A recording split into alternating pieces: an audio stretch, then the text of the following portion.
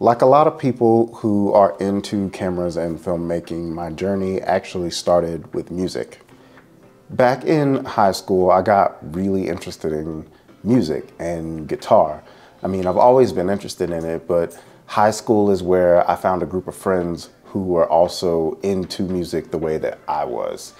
I had friends who played guitar and that really fueled my passion and drive to want to learn how to play a musical instrument. So I picked that up. But then I also had friends who listened to hip hop and rap and the kind of music that I listened to growing up in my own house. And so I had this wonderful blend of two essentially worlds of music that I really found a deep passion for music. This passion led me on several different paths. The first was I actually learned how to play guitar, and if you go all the way back to the very beginning of this YouTube channel, a lot of those early videos are me playing guitar, learning how to play guitar, covering songs with a guitar. It became a real passion of mine and I still love playing guitar to this day. The other path that it took me down was I wanted to record myself and so I got really into cameras. Back then I didn't have a lot of money and all my money that I did have was spent on music equipment instead of camera equipment. So I actually collected a lot of recording equipment. I learned how to record myself and then other people with that recording equipment. And for a brief period of time, I convinced my parents to open a portion of our home to the neighborhood kids who wanted to record music. And for a while, I was kind of like a bootleg record producer. Kids would come to my house, uh, they would pay me a little bit of money, and I would use all of my equipment, my microphone, my computer, my speakers. I had a beat pad and a keyboard thing. I had all of the equipment to help make music and I had an amp, an electric guitar, an acoustic guitar. I had all of the things to help people create music. And so for a while, that was my life. And I honestly thought that that was where I was gonna go until the camera stuff started picking up. And that's where a lot of things changed for me. Once I learned how to do more camera related things, it became more clear and apparent to me that this was a way to make more money. And even though I still love music so much, I really put it to the side in order to pursue this camera thing and this camera idea and hobby. And that's lasted for a really long time. But there's something that keeps coming back to me. And that is my love of music and really the music industry as a whole. I grew up in Louisiana and in Louisiana there's hurricanes. And whenever hurricanes would come, the power would go out for a couple days and you know, you'd have to deal with those things. But during those periods of time, there's one thing that I vividly remember, and that is every single time the power went out, I pretended that I was a radio host. I pretended that I was a DJ on the radio talking about music, playing music, making mix CDs, making mixtapes. That was a really big part of my childhood and even into adolescence. I made mixtapes and mix CDs for my friends. I played them in my car. It was just a way of life. And now that I haven't made it with this camera stuff. I'm still very much learning. But now that things are a little more established, I find myself making content about cameras, which is fun. And I really enjoy making content about cameras, but I want to make content for creators to show them how to make content. And I think it's so easy to fall into the trap of, well, I'll just make content about cameras because people are always gonna search about cameras. But this is where my this is where my idea is. Instead of making all of my content about cameras and how to be a creator in that sense, I'm going to bring you along the journey of essentially making content about music. This way, I'm able to show you how to make content for an industry that's not related to cameras. Quite meta, a little bit more work on my end, but I think it would be extremely helpful to show people the journey of something that I really love and that I'm passionate about and showing people how to make content about it, showing you guys how to make content about it, I think it would be interesting and helpful. And it's a way for me to utilize all the skills and the things that I'm telling you about and it not be related to cameras. Now, before you click off this video, I'm not changing the content of this channel. This channel will still very much be with the intent of documenting my creator journey and helping creators, whether that's learning camera related things or learning tools and things that will help you. But I think showing you the process of how to go about becoming an actual creator in an industry that's not cameras will be extremely helpful to people who want to become a creator in an industry that's not related to cameras. See what I mean?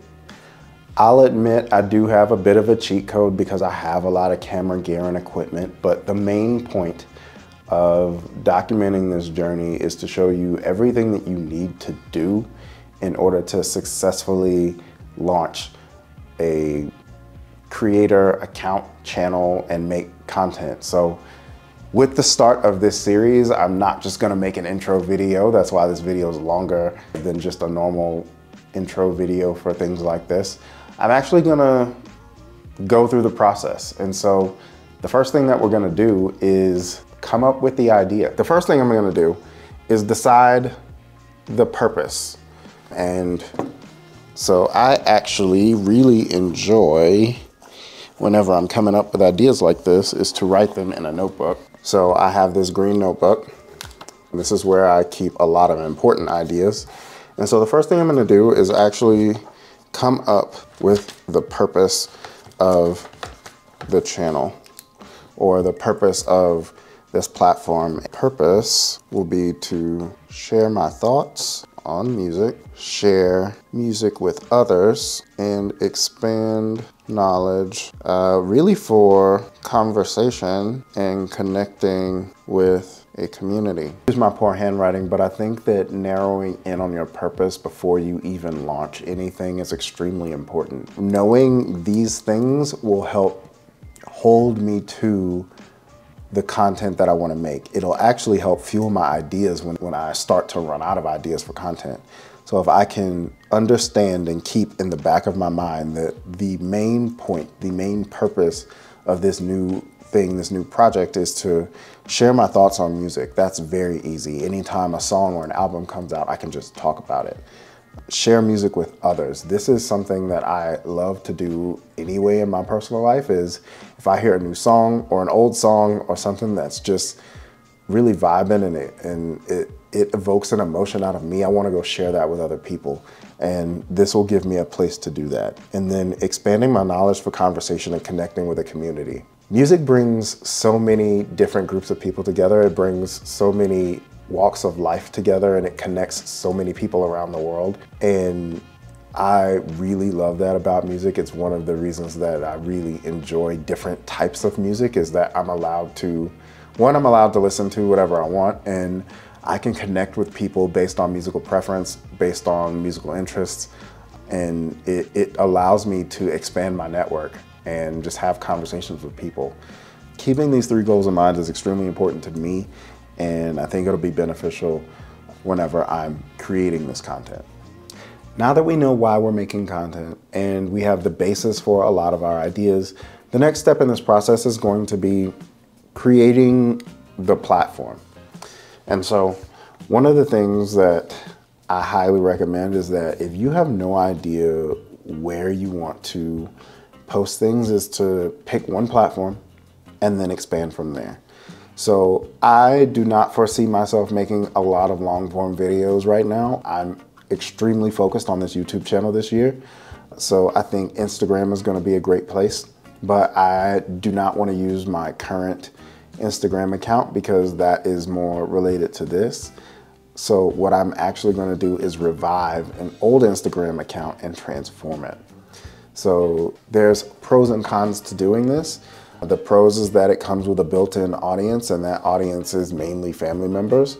I do technically have a personal Instagram account. I never use it. I haven't used it in, I use it like once a year. And it's not even for like something special or unique. It's really just a random post every year. So I think reviving that old account will do a couple of things. One, it'll give my friends and family who are still following that account insight into my life and the things that I'm doing, or at least the music that I'm listening to and the things that I want to talk about there. But it also comes with, like I said, a built-in audience. And so there's already people who follow that account. So I'm not starting over from scratch. I don't have to come up with a new email. I don't have to come up with a lot of new things. The only thing that I am going to do is take a new picture for the profile and I am gonna change the username. So let's do those things right now. It's the next day. Basically, I spent yesterday taking a couple self-portraits, working on my Instagram bio, and I filmed a couple of videos, but I decided to film a different video today based on the events of yesterday. There were a lot of happenings in the hip hop music industry that I felt I needed to speak on a little bit. So I filmed a quick video for that and that'll be going up very shortly. The next thing in this process is really to have a profile photo, edited my bio, the account is already created and like I said, I'm using an older account that has been kind of inactive. I'm just gonna revive that and then I've recorded some content. And so now the next step in this process is to just go. It's time to edit the videos. It's time to put together some captions and it's time to start putting some content out. And that is the very next thing in this process. And the next step is really to start planning some content and making sure that I can remain consistent. And so the way that we're gonna do that is to put a system in place where I'm recording content on certain days, editing on other days, and then scheduling those posts out. So hopefully this was useful to someone who wants to learn a little bit how to create content that's not about cameras. Uh, you know, if you're interested in a specific niche that's not related to cameras, but you wanted to learn how to create content from someone who does work with cameras and does this for clients, hopefully I've been able to provide a little bit of help and inspiration for you. And if you like this type of content, stick around. I would love a subscribe or a comment down below if you have questions. And I will continue to put out content that is in support of and helps people who are on their creator journey. Thank you guys for watching. My name is Larry G. Until next time, do the work, believe in yourself, and keep creating. Peace.